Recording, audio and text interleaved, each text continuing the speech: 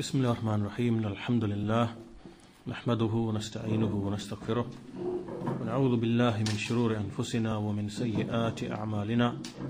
من يحده الله فلا مضل له ويضلل فلا هادي له. وأشهد أن لا إله إلا الله وحده لا شريك له وأشهد أن محمدا عبده ورسوله. أما بعد فإن أحسن الكلام كلام الله.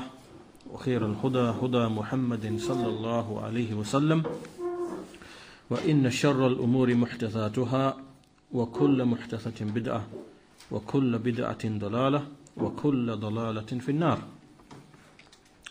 Uh, so we start today, inshallah ta'ala, uh, a new series of lessons on uh, the creed, the aqidah of the Imam, Imam al-Tahawi rahimahullah.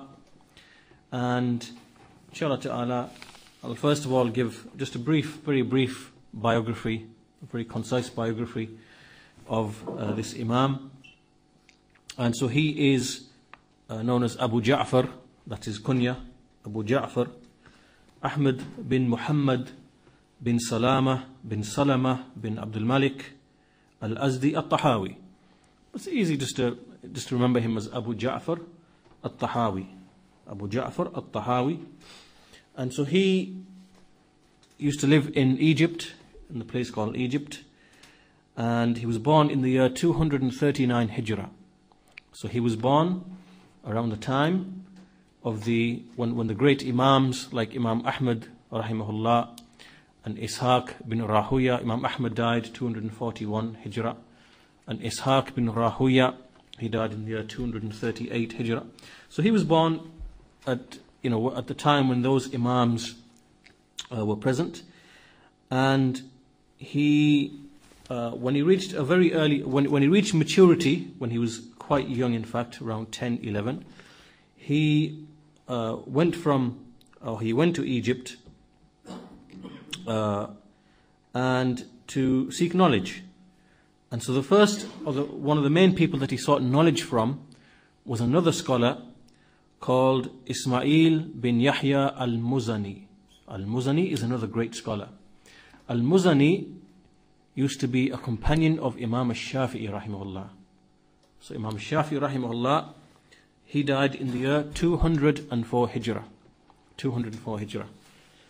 And Al-Muzani, rahimahullah, was one of the major students of Imam Shafi, rahimahullah. Uh, and Al-Muzani was his uncle. He was the uncle of Al-Tahawi on his mother's side.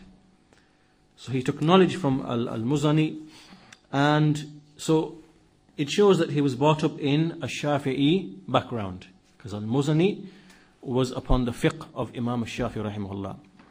So what happened was, as the story uh, goes, that he had some issues which he uh, would discuss with uh, Imam al-Muzani, and he wouldn't receive satisfactory answers. He wasn't, you know, content with the answer on certain issues to do with the ahkam and, and fiqh and so on and so forth. And so what happened is that he went to another person, another scholar, who was a Hanafi, and he found the answer that, that was satisfying and pleasing to him. And some other stories mentioned, some other narrations mentioned that he actually had a dispute with Al-Muzani, and, you know, with respect to a particular issue. And, uh, you know, again, he went to a Hanafi scholar and he went to research the issue into, into the Hanafi books, into the usul of uh, Abu Hanifa and his companion Abu Yusuf on the issues of, of, of fiqh that is, and he found a satisfactory answer. So what happened is that whilst beginning upon the fiqh of Shafi'i, he changed and adopted the, the fiqh of Abu Hanifa because he found within it that which was satisfactory to him. And so, however, what should be pointed out is that his association with Abu Hanifa wasn't like the, the blind followers that we see who came in the later times. Rather, we see many, there are many, uh, or there are, in, there are narrations and incidents uh, which are mentioned uh, regarding him, how he would uh, stick to the proof, and he wouldn't blindly follow everything that would come from Abu Hanifa and his companions. And this is because uh, in the later times, the followers of Abu Hanifa, rahimahullah, when they, begin, when they began to write down the fiqh rulings and the, the issues of jurisprudence and they began to codify them, they began to use that as the foundation. Right? They began to use that as the foundation. So they made it rigid. And so they would rely back upon the opinions of the scholars. And so eventually, so rather than relying upon the usul, the foundations of what Abu Hanifa was upon, because Abu Hanifa was upon the same uh, uh, usul that the other scholars were upon. It's just that he had very stringent requirements for accepting a hadith. And as a result of that, there wasn't uh, uh, as much a dependence upon the hadith as the other, other scholars had. However, what, what this, so, in principle, his, his foundations were the same as the, as the other scholars. But then what happened in later times, and so as a result of that, there was a lot of ra'i or opinion which would tend to come into uh, this school. But the, those who came afterwards from his followers, they began to rely upon the actual statements and rulings and opinions that came rather than implementing the actual usul that Abu Hanifa himself was upon. So this is how the rigidity and the, the, the, the people began to stick blindly to, to, to the Hanafi madhab. So At-Tahawi wasn't like that. At-Tahawi was a, a, great scholar and so he followed the evidence and uh, there's actually a narration here uh, that is mentioned uh, in this regard. Uh, and so basically there's someone discussing the issue of Imam al-Tahawi. They were revising certain issues together. And uh, uh, so one of them said to the, so, so, so al-Tahawi said to the other person who he was discussing with that uh, this is not the saying of Abu Hanifa. And this person said to him that, you know, is is uh, is is everything that Abu Hanifa that, that, comes from Abu Hanifa. Should I speak with it? Should I should I should I should I stay? With, it? should I adhere to it? And so At-Tahawi replied to him, I did not consider you to be a muqallid. I didn't I expect you to be a muqallid. So then this man said, and does anyone make taqlid except someone who is a, a partisan, someone who has like you know partisanship? And At-Tahawi said, or maybe a ghabi, maybe someone who is foolish. So from this discussion you see that At-Tahawi wasn't someone who is a blind follower, rather he looked down upon uh, a blind following of the opinions of, of one person in everything. So as for the scholars uh, who mentioned him and spoke in praise of him, there are many statements, we can mention two or three. From them is the saying of Ibn Yunus, who said, At-Tahawi was a thiqah thabt. Thiqah thabt is just uh, uh, like a gradation or a ranking to show that he was uh, firm, reliable, trustworthy, and he was a faqih, aqil. He was someone who was a jurist, was with good understanding, and he never left behind him anyone who was like him. And Imam al-Zahabi, rahimahullah, Imam al-Zahabi, he said about him, al-faqih, al-muhaddith, al-hafiz, he's the jurist, a muhaddith, a narrator of hadith, a hafiz, a memorizer of hadith, and one of one of the one of the most important uh, figures. And he was a thiqah, thabt, faqih, aqil. Again, similar, same as before. And Ibn Kathir, rahimahullah, the one who wrote the tafsir, tafsir Ibn Kathir, he said that he is one of the re- reliable, the ahadu thiqat, al-athbat, that he is one of the uh, trustworthy, firmly established, firmly grounded uh, narrators and the memorizers of hadith, the skilled memorizers of hadith. And from uh, the, the, teachers that we mentioned, the, the, main teacher that we know, Ismail al-Muzani, there was also Yunus bin Abdul A'la and Ar-Rabi' bin Sulaiman. These are well-known scholars from, from the Salaf. As for his books, he wrote many books, but one of the main books that uh, is well known is a book called Sharh Mushkil al-Athar an explanation of the difficult narrations, of the, of the difficult uh, narrations. And uh, so he died in the year 321 Hijrah, and he wrote this particular creed, this very brief, concise creed. It is no more than maybe six or seven pages um, long, and it's very, very short, very concise. And what we see from this creed is that it is agreed upon and accepted by all of the people who follow all of the four schools.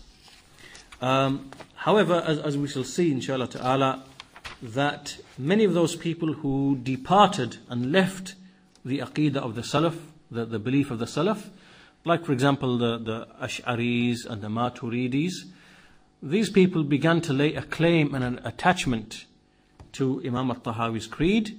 They began to interpret it in, a way that was supportive of their creed. So inshallah ta'ala, as we progress through the explanation, uh, the relevant points will be made about that particular uh, issue. And so before we actually, uh, so we're going to we're going to use inshallah ta'ala the explanation of Sheikh Salih Al Fawzan. It is a fairly brief commentary, and we find there are there are many commentaries, quite detailed, quite you know in depth.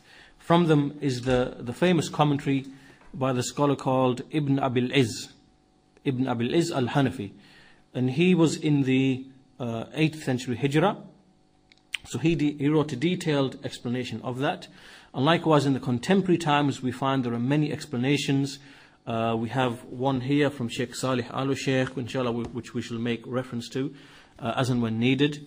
And likewise, we see uh, many, uh, and, and they vary in length. Some of them, like one explanation we have, is, is literally three volumes long. You know, it runs into 1500 pages. Others run into 500 pages. Are, so we have many different explanations. Some are brief, some are concise. Uh, Sheikh Albani rahimahullah has like a very brief commentary upon it, maybe 60, 70 pages. We see Sheikh Salih Fawzan's, his spans maybe 250 pages, and then we have some 1500 pages. So we see that a great deal of concern has been showed uh, to this book, to this creed, from brief commentaries to very detailed commentaries.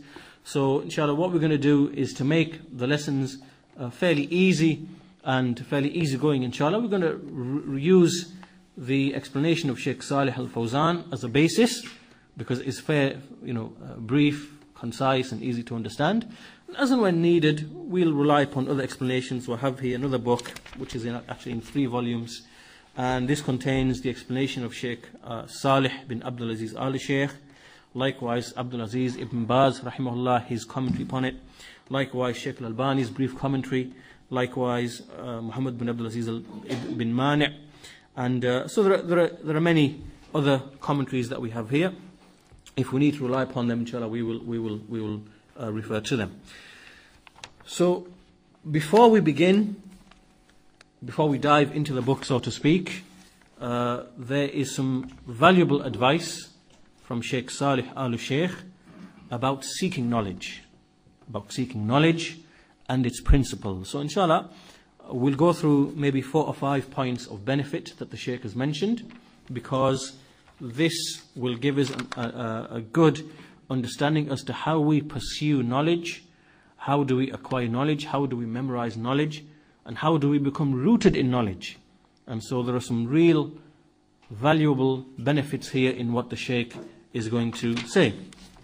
So the Sheikh says, uh, at the beginning of his commentary upon this book, he says that we shall, we shall mention here certain affairs that are related to a seeker of knowledge, someone who is a student of knowledge, seeking knowledge. And the manner in which he takes knowledge from other people, from the sheikhs, from the students of knowledge, how does he take that knowledge? So obviously this relates to everybody sat here and ourselves likewise. And so he mentions uh, six or seven points. Uh, some of them, uh, we, will mention maybe four or five of them because they, they, they, they are fairly straightforward. So from them, he says that the first thing that should be noted is that a person should always remind himself, always remember yourself, that knowledge, seeking knowledge, is actually worship. So, talabul ilm is actually ibadah in and of itself and it is something by which you seek nearness to Allah subhanahu wa ta'ala. So basically, as sitting here today, this is an act of worship, and it is something by which we seek nearness to Allah subhanahu wa ta'ala. And we see that the scholars have mentioned that the greatest of the involuntary deeds of the tatawwu', those deeds which are not from the wajibat, not from the obligatory uh, affairs, that, that the greatest of deeds after them is actually seeking knowledge. So in other words, after the, the, the, the establishment of the prayer and the fasting and the zakah and all of the other wajibat which, which are wajib upon a person, then after them, the greatest of the deeds which, which, which, which are virtuous is actually seeking knowledge. And the Shaykh says, in fact, although, although this is a ruling upon knowledge, in many instances, seeking knowledge would actually be wajib upon many of the students of knowledge. Why? Because most of us, many of us, wouldn't really have a, a, a quite sufficient knowledge in order to fulfill the affairs of worship or likewise to, to understand the foundations of his religion, like in the affairs of Tawheed and Aqidah and Iman. Most of us are deficient in that regard. So, because of that, knowledge is actually wajib in those areas. So it shows that you know it, it has a much more uh, you know important place than what we think it does. And so for this reason, the Shaykh says, when you understand this and when you realize this, when you remind yourself that knowledge is an act of worship, it is taqarrub Allah, it is something that brings you closer to Allah, then a person will never become lazy or indifferent to seeking knowledge. Rather, he will have a different attitude towards knowledge. And so, you know, in terms of memorizing, studying, writing, seeking out books and so on and so forth, again, his, his attitude will, will, will change.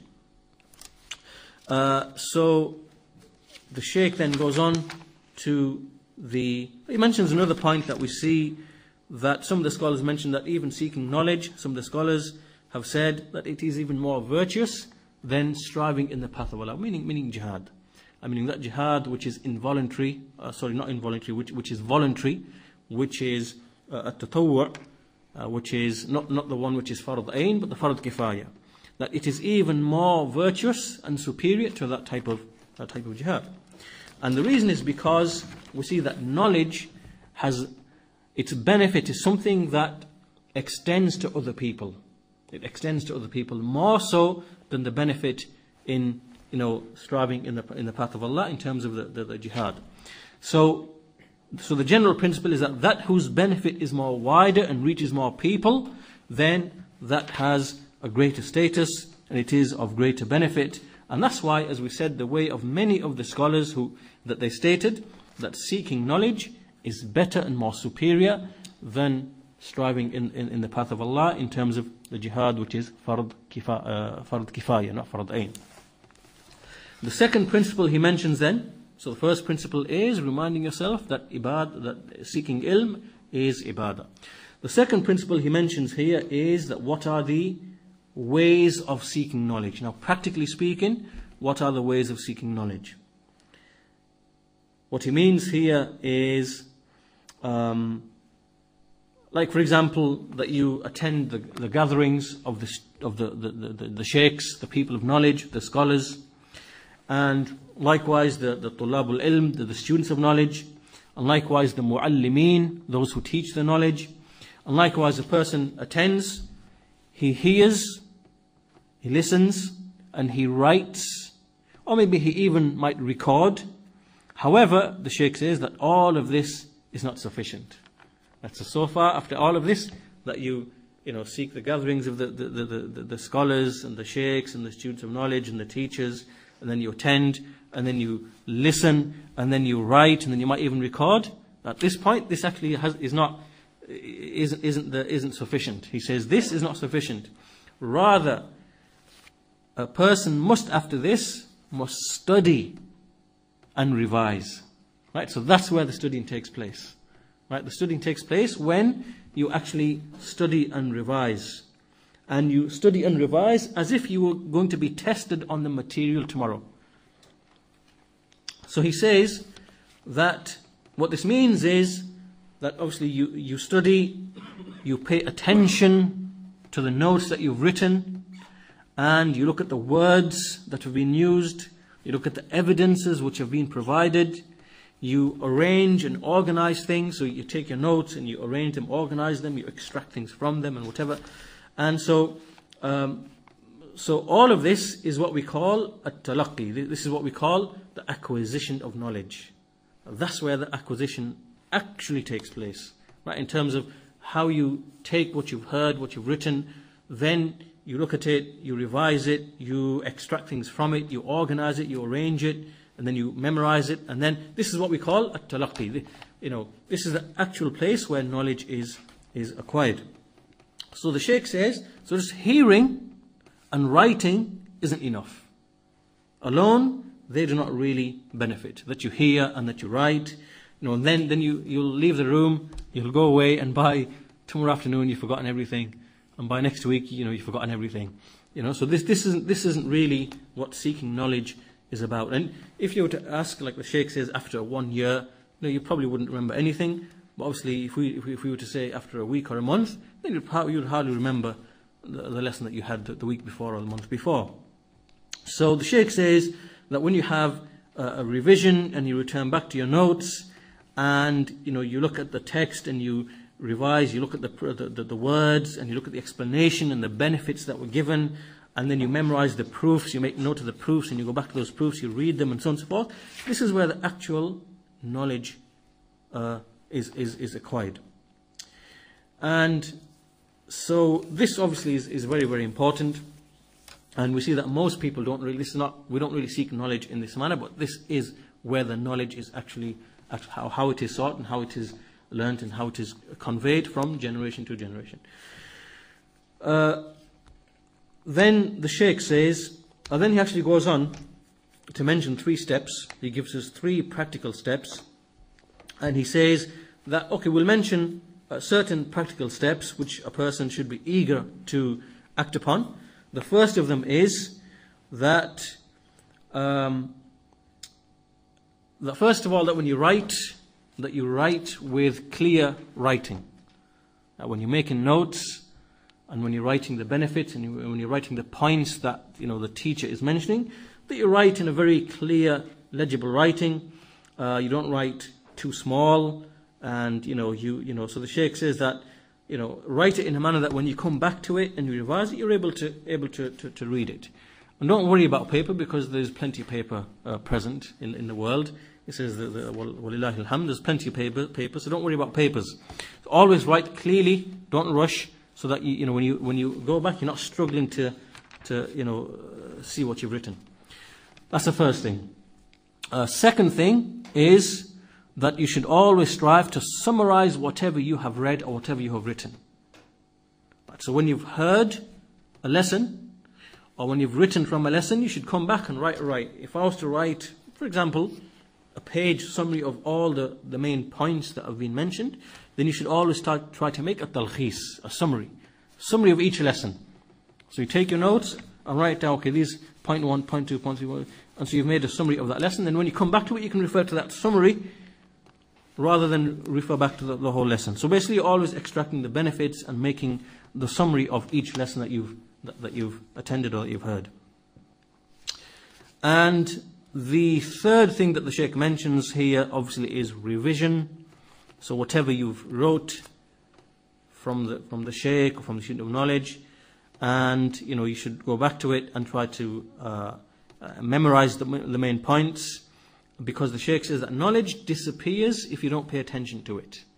Knowledge disappears, and so if you don't keep to it and attend to it and revise it, and you know it'll, it'll it's, it's like if you leave your animal, your domestic animal, or you leave a camel, for example, untied, it's going to disappear. This is the nature of knowledge. Likewise, it's, it's the nature of the Quran. The Quran dis- disappears from your memory if you don't keep attending to it and revising and memory. The same with knowledge. Same with knowledge of the religion. And so the Sheikh says that we see that there are many books, many foundational books that you know explain, for example, Aqidah or Tawheed or other, uh, or other areas. And what we see, a person might just read it once or twice. The Sheikh says what we do is that we read a book 10 or 20 times. Or 10 or 20 times. Why? Because every time we come back to the book, we see a benefit that we didn't see before. So the point here is that a person shouldn't say, for example, that we see many people saying, oh, that book, yeah, I read that book. I read that book, now I'm on to this book. Like, we read the book once, now move to the, um, the, the, other book. We see the difference, you know, that the, the, true and real scholars, they, they actually read a book maybe 10, 20, 30 times. So every time they read it, they might find some other benefit or something that they missed. And every time they go back to the book, they see the benefit, then they'll write that benefit down. Right? It, it wasn't, it's not just casual reading, you sat there, you know, on the sofa lying down, uh, falling asleep maybe, or just something to do in the meanwhile. You, you pick, pick a book, no pen, no notes, and you just casual reading to pass the time. And obviously, as you're reading, the benefits are popping up in your mind, but come two, three hours later, it's all gone. Right? So this is not the, the type of study and the reading that, that you know that the Sheikh you know, the Sheikh is saying that when you, when you actually want to study a book, literally you've got to devour that book. As in, you can read it once, twice, three, four, five. Each time, you know, you're making more and more notes. So basically, you just, as I said, you're literally devouring the book from every single angle that you think. This is what we call studying. This is what you call, and this is how a person, this is how he learns. This is how the knowledge becomes rooted in him. So the Sheikh says that when you take this approach, uh, when you read the text, when you read the benefits, when you revise, when you read it again, then this is what will, uh, the knowledge will become firmly rooted and established. And, um, you know, so, uh, and he says that when, when, your, when your knowledge is rooted like this, then everything which follows on from it will be the same. So if, so if in your knowledge you're deeply rooted, then everything else that follows on that, that, that in that too you will be deeply rooted. Sheikh mentions here a principle. He says that, that when, when something which is sahih, when, when there's something that's sahih, whatever is built upon it will also be sahih. Whenever a construction is sound, everything else that builds on top of it will also be sound. When something is defective, whatever is built upon it, that too will be defective. When something is erroneous, is wrong, plain wrong, whatever is built upon that is also plain wrong. Three things he mentions. So for that reason, the Sheikh says that in order to build a sound foundation in terms of knowledge, then the you know a person should really study knowledge in the manner that's described, not treat it like you would read a novel or a book, you know, like like people just for pleasure whatever. It's actually serious study. Uh, the third, so, so we finished the second point, and the second point, the ways of acquiring knowledge, how it takes place. You listen, you write, and then you go back, and then you do the actual acquisition of knowledge. And then there are three points that you mentioned, you know, uh, in terms of clear writing, then summarizing things, and then revising things. Uh, now we move on to the third uh, issue, which is the Sheikh says that the student of knowledge should realize that one particular book will have many explanations. Well, for example, I mentioned that At-Tahawiyya has many, many explanations. There are many explanations. And we see that every person who writes an explanation has his own style. Some will have, uh, you know, some will write just briefly. Uh, some will have a very technical, very detailed style.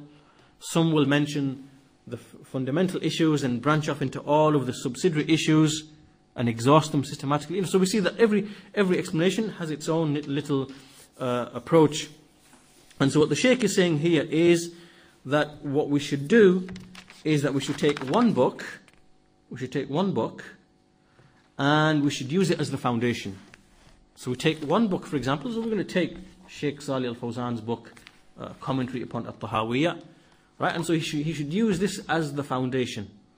Once he's used that as the foundation, then, then he can go to other explanations, and then he can add to the foundation he's already built.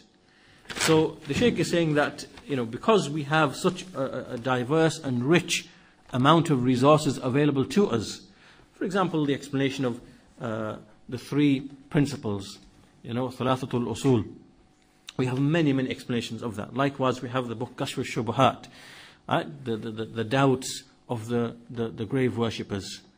Uh, we have many, many explanations. You know, there's countless explanations of that book. We can go on and on for all of the various other, other books that we see, Kitab al-Tawheed, al-Wasitiyah. So what a person should do is find one particular book, use it as the foundation, study it thoroughly, and then move on to other, other explanations where he will see different approaches, different methods, different styles of explanation, and so he will increase uh, in, in, in that way. And the Shaykh mentions a verse, وَفَوْقَ كُلِّ ذِي عِلْمٍ عَلِيمٍ That uh, above everyone who has knowledge is someone who has more knowledge. And obviously at the end that refers back to Allah subhanahu wa ta'ala who is the all-knowing. But even amongst the people we see that, that among the, amongst the people, even amongst the scholars, we see they vary in their knowledge and the types of knowledge. And so this is just uh, uh, an issue we should, we should be aware of when it comes to studying these types of books and the various explanations and the benefit we can get from, you know, uh, using one as the foundation and then moving to others as, as, uh, as additional uh, knowledge.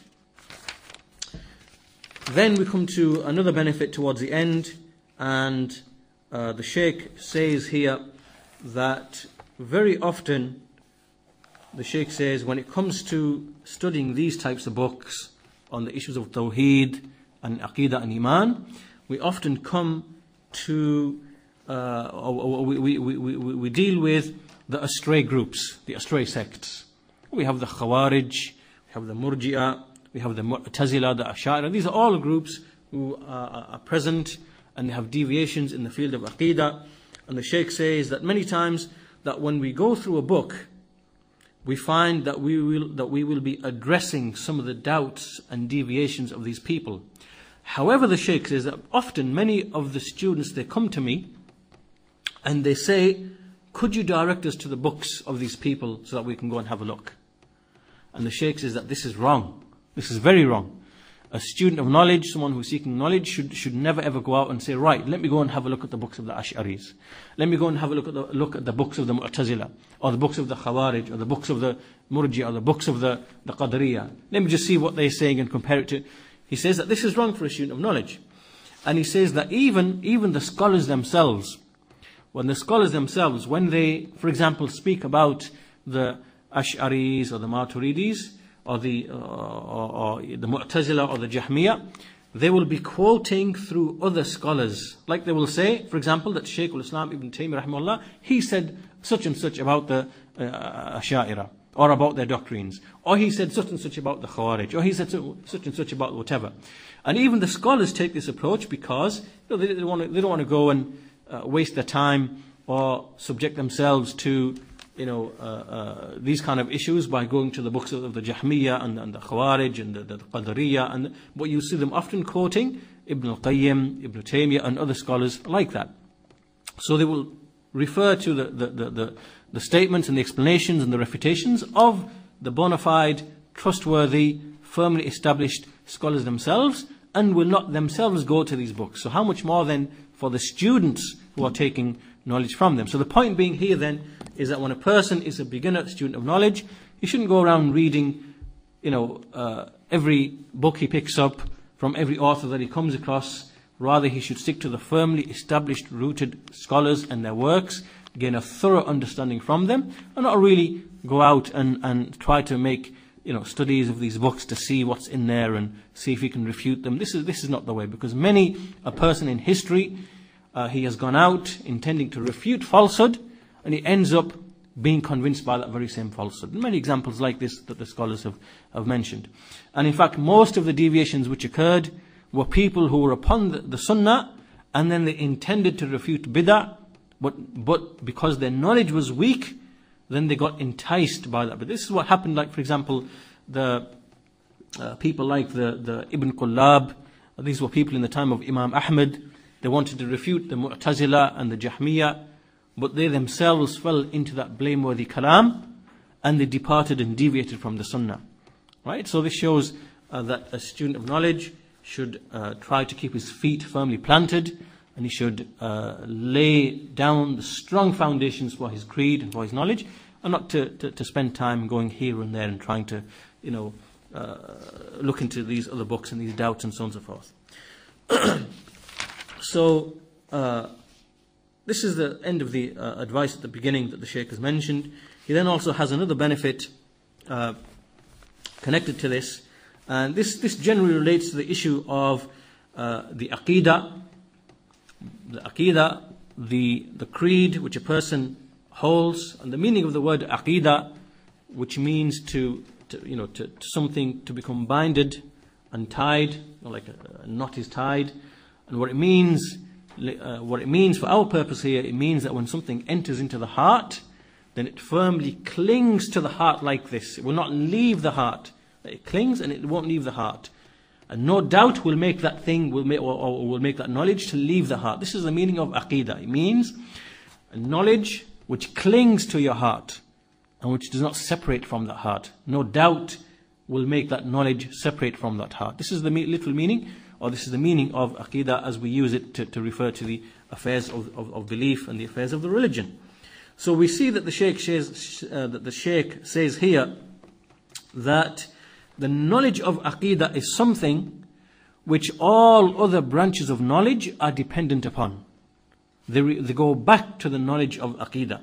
So, for example, when you go back to uh, the books of tafsir, the books of explanation of the Quran, then you will need knowledge of the of the Aqidah.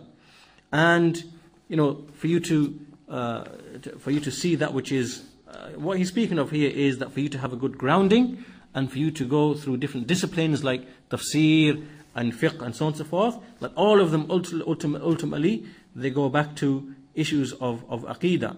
And so if a person isn't firmly established and grounded in the aqidah, then he will likewise make mistakes in understanding Allah's speech and the speech of the messenger, in other issues as well, in tafsir, in fiqh, in, you know, in, in, in many other issues that pertain to the religion. And likewise, the aqidah itself, it is something which corrects a person's action, his amal. Because his amal, his action is dependent upon the belief that he holds. So if his aqidah is sound, then everything that proceeds from him in his actions, that too will be sound. And the Shaykh then mentions how the heart, the heart is something which controls the rest of the body. And if the heart is sound, if the knowledge in the heart is sound, then all of the rest of the body will proceed in a similar manner. And this is based upon the well known and famous hadith in which the Messenger said, Indeed, there is a morsel of flesh in the body, which if it is sound, then all of the body will be sound, and which if it is corrupt, then all of the body will be corrupt. Indeed, it is the heart.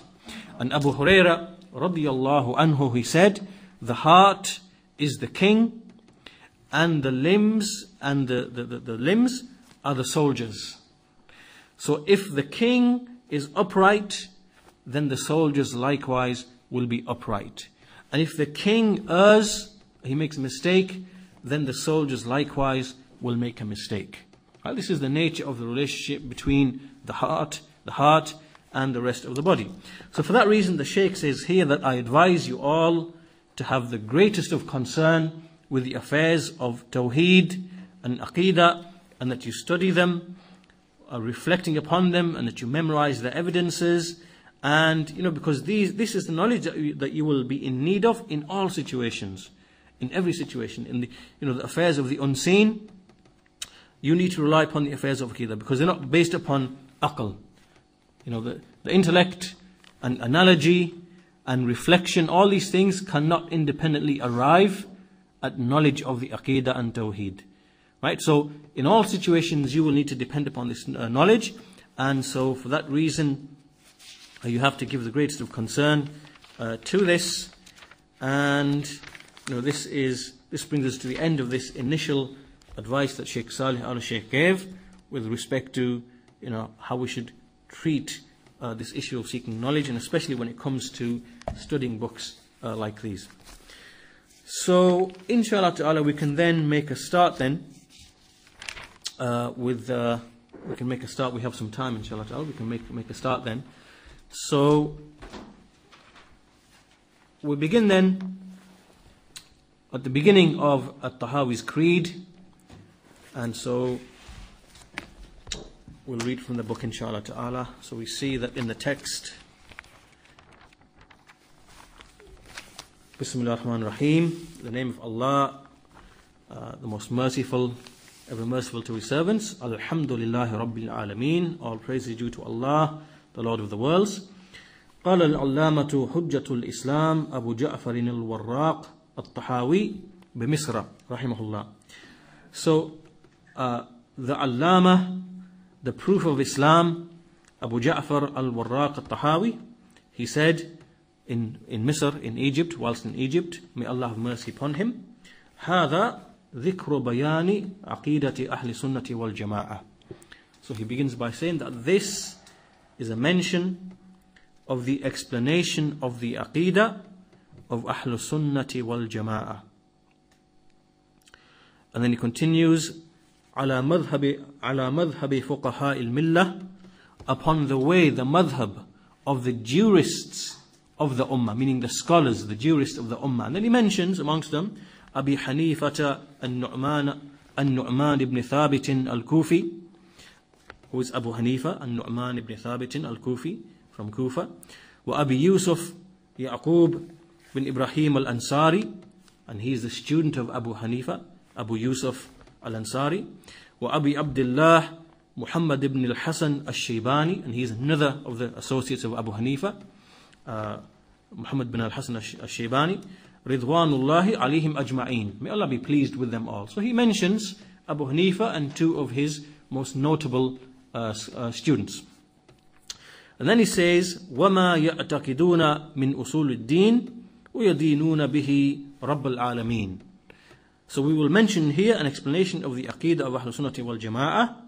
Then he mentions upon the madhab of the fuqaha, of the jurists, and he mentions the three of them, Abu Hanifa, Abu Yusuf, and Abu Abdullah Muhammad bin, bin, bin al-Hasan al-Shaybani.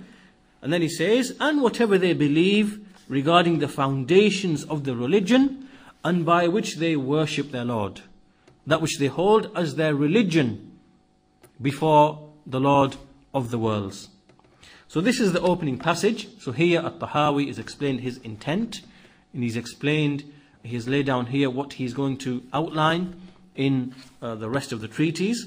So upon this, the Sheikh, Sheikh Salih Al-Fawzan, Hafizahullah, he first of all begins his commentary by saying, uh, uh, beginning with the mention of Allah's name, and then praising Allah, Lord of the Lord of the worlds, and sending prayers and salutations upon the Prophet Muhammad sallallahu alaihi wasallam. He says, and he gives us an introduction about the aqidah. He says, verily, the aqidah is the foundation of the religion. A meaning that which we hold with the hearts in terms of the belief belief in Allah and belief in the angels and the books and the messengers and Al Qadr and all of the affairs of the unseen, then all of this is the foundation of the religion.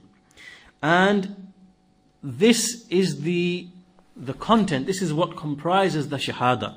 Or when you say the Shahada, Ashhadu an la ilaha illallah wa ashhadu anna Muhammadan abduhu wa rasuluh, then within this Shahada, then it comprises all of the affairs of, of the Aqidah. And the Shaykh says it is the first pillar from the pillars of Islam. The Shahada is the first pillar from the pillars of Islam.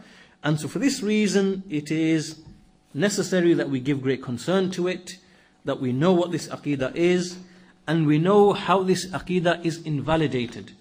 How does a person's Aqidah become defective and invalidated?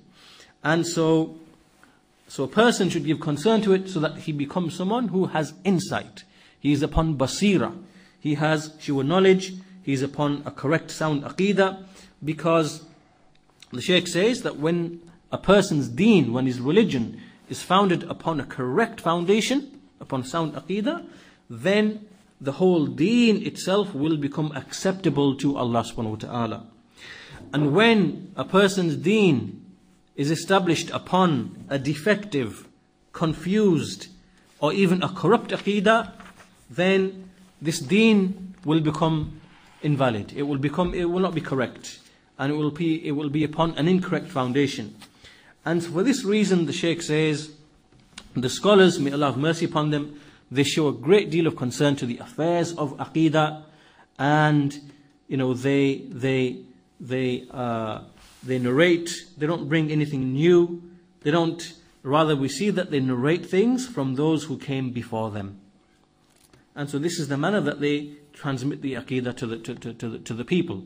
So we see from the very beginning, the Sahaba, radiallahu anhum, we see that they never had any doubt in any of the affairs of the aqidah.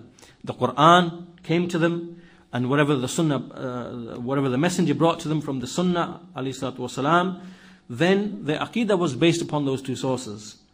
And they believed in everything, they acquired the knowledge of the unseen, the knowledge of Allah, His names and attributes, and everything else from the matters of the Aqidah. And they never ever displayed any shak, any doubt. They never ever questioned anything, saying, why is this, and why is that, and why is this, and why is that. Rather, they accepted everything with qubul and taslim, with acceptance and submission. And whatever Allah said, whatever the Messenger said, then they accepted it, and they never ever needed to rely upon any additional books that were that needed to be written.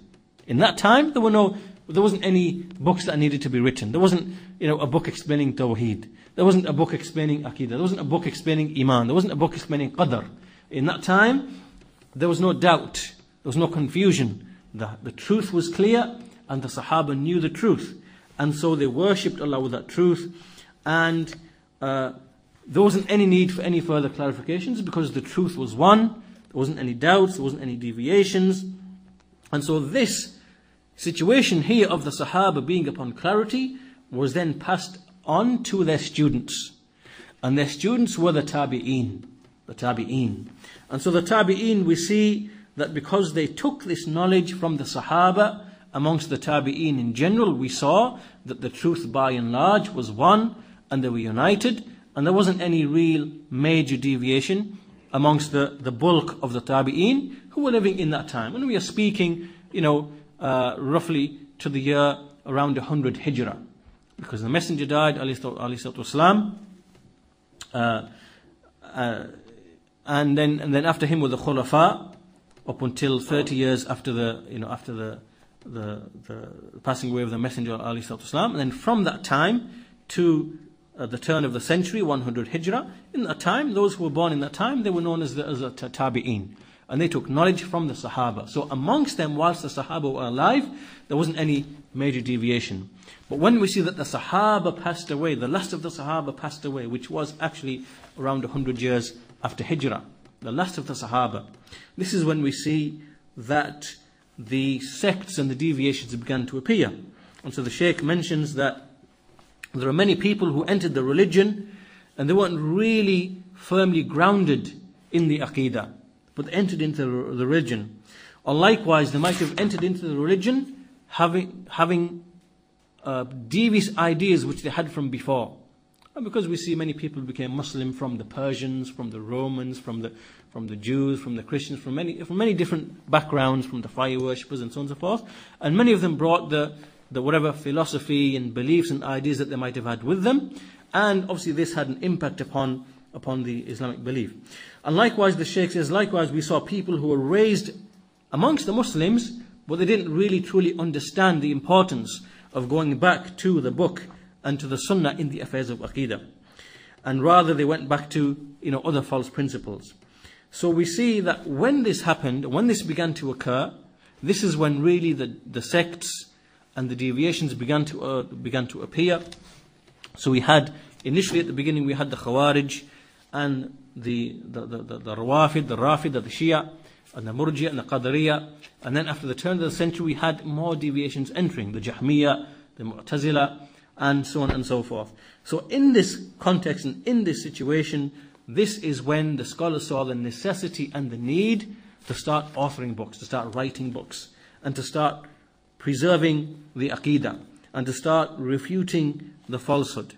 And so it was in this time, and this is roughly in the time of, you know, uh, after the turn of the first century, in the time of Al Hasan al Basri, rahimahullah, he died in the year 110 Hijrah. And likewise, uh, Imam Az-Zuhri, he died in the year 124 Hijrah. Muhammad bin Sirin died 110 Hijrah. And around the time that the, that the first Imam, Imam Abu Hanifa rahimahullah, was alive, and he met many of the, the Tabi'een. So in this time, we saw that this was a time when the, the, the, scholars from the Tabi'een began to speak, and some of them began to even author works.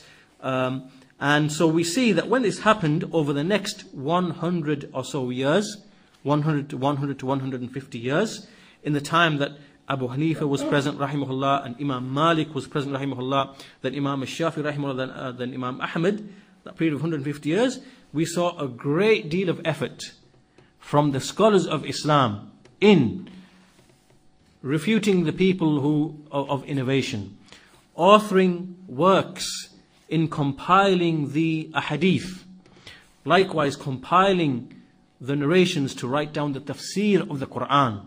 Right? So we see all these different areas, you know, uh, ta- taking place. And through all of that activity, through all of that activity, we see that the religion from all different aspects in terms of its aqidah, in terms of the, the ahkam, in terms of the, uh, the akhlaq and the morals and so forth, in terms of the hadith themselves, in terms of the tafsir. We see all of this activity taking place, which is essentially preserving the religion, and the most important part of which is the, is the aqidah. So in this time, if, you know, there are, there are many, many books that were written by the scholars, and uh, these books they would call as-sunnah, or al-iman, or Ash-Sharia. There are many, many scores and scores and scores of books that we could mention that were written in this time, and they cover different fields, fields of Allah's names and attributes, the, the, the topic of Al-Qadr, uh, the topic of the Iman of a believer, you know, as it pertains to major sins and so on and so forth. In all these areas we see these issues being written about and spoken about and the scholars, you know, refuting that which uh, opposes it. So what we see and what we gather from this, as the Sheikh says, that we see that all of, all of the four Imams, Abu Hanifa, Imam Malik, Imam Shafi, Imam, uh, Imam Ahmad rahimahullah, all of them were united upon a single creed and all of them and their followers likewise were involved in defending this creed. And uh, so the Sheikh then goes on to mention some notable names and some scholars like Ishaq ibn Rahuya, uh, Imam al-Bukhari rahimahullah, Imam Muslim, all of these are from the third century. And likewise, Imam Ibn Khuzaymah from the, four, from, from the third and fourth century. And likewise, Ibn Qutayba. And likewise, Imam al-Tabari, who wrote the Tafsir al-Tabari. And likewise, from the later times, Imam al-Baghawi, Ibn Kathir. These are all scholars from the later times. But the point being here the Sheikh is making is that all of these scholars, they actually wrote books. They wrote books. And many of these books, they were given certain names like As-Sunnah, or Ash-Sharia or Al-Iman or Al-I'tiqad. All of these different names, the intent is the same, which is to lay down the belief and the creed of Ahlul Sunnati wal Jama'ah. And so from those people, coming now to our, to our, to our issue, to our, to our topic, from those people was Imam al-Tahawi. Imam al-Tahawi rahimahullah. So as we said, he died in the year 300, 321 Hijrah. He was in Egypt. We mentioned these details at the beginning of his uh, biography. And so he authored this work. It's a very brief work. Maybe it consists of maybe 150 sentences. You can fit it onto maybe six, seven pages. And those sentences are very concise, very brief. And the Sheikh says there are many explanations which have been given of this book. And he mentioned Ibn Abil Iz, that we mentioned earlier on. He mentions that this is uh, from the most comprehensive of them and the most sound of them because there are other explanations written by the people of innovation and the people who are upon other, other ways and other approaches. And so here, the Sheikh says that he mentioned the creed of Abu Hanifa and the creed of Abu Yusuf and the creed of Muhammad al-Shaybani, but this is also the creed of the rest of Ahlul Sunnati wal Jama'ah. It isn't just exclusive to them because as we mentioned, the creed of the four Imams is one and the same. And so, apart from maybe a few little issues, inshallah ta'ala, that we will discuss at the appropriate point. But on the whole, in the majority of the affairs, then they are united upon uh, this aqidah, and they took this aqidah from the book and the sunnah, and not from the principles of kalam, you know, the- theological rhetoric, or the principles of logic, or other things like that. Rather, they had a single source. And the Sheikh says, unfortunately, many of the later followers of the four Imams, from the later followers, so those who came much after Imam Abu Hanifa. In fact, there were even people at the time of Abu Hanifa who, you know, were upon the way of the Mu'tazila. But generally, those who came much after the Imams, we see that they began to follow some of the other deviated ways of kalam and mantiq, of logic and philosophy and, and you know, uh, so on and so forth. This happened with Abu Hanifa, and many of his followers, they took the way of the Mu'tazila. It happened with Imam Malik, likewise. It happened with Imam Shafi'i, likewise. Many of the followers of Imam Shafi'i, who follow the fiqh of Imam Shafi'i, actually are Ash'aris. They're Ash'aris. And so, and even from the followers of Imam Ahmad, there was some from the 5th century who again they got influenced by something of the ilm al-kalam, like the theological rhetoric whatever, and they got influenced to it. However, what we see historically is that the followers of Imam Ahmad, rahimahullah, that they were the least affected. Right? So the, the, amount of deviation in the followers of Imam Ahmad is the least compared to all the followers of all of the other Imams. Compared to the, the Hanafis, the Malikis, the Shafis, and we see that amongst those people such deviation, in fact great deviation, that we never see amongst the, the, the, the, the Hanbalis.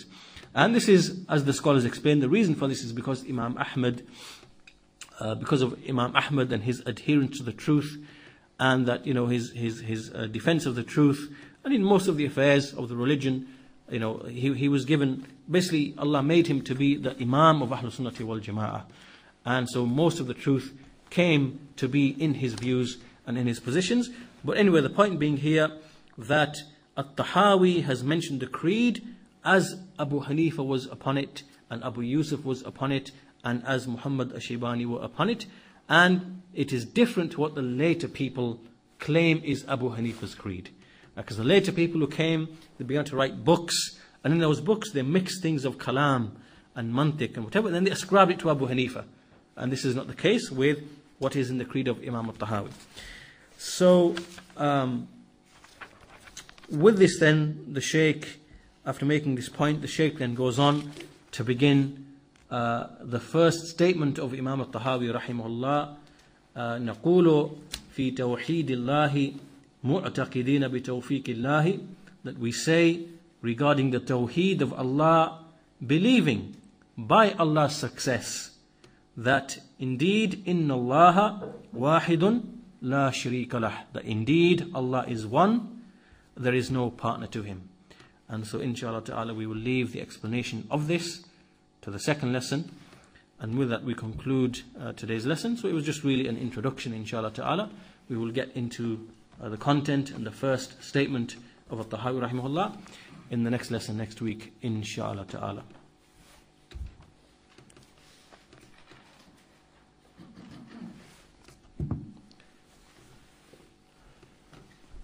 any questions on what's been said? We have a few minutes for that, inshallah. Otherwise, we'll conclude the lesson there. Imam Tahawi rahimullah died in 321 Hijrah. 321. He was born in 239. Some scholars say 238. 230, 239. He died in 321 Hijrah.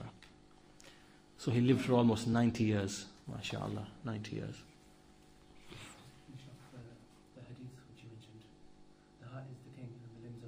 Yes, that's the statement of Abu. Abu yeah, yeah. He said that um, that indeed. Here we are. Yeah, that's at the end. He said that indeed, uh, the heart is the king, and the limbs are the soldiers. The heart is the king, and the limbs are the soldiers. And if the king is upright and steadfast, then the soldiers will be upright and steadfast. And if the king errs and makes a mistake, then the soldiers will err and make a mistake. Basically, the soldiers follow whatever the king is upon. Or whatever the king is upon, the soldiers will always uh, follow that.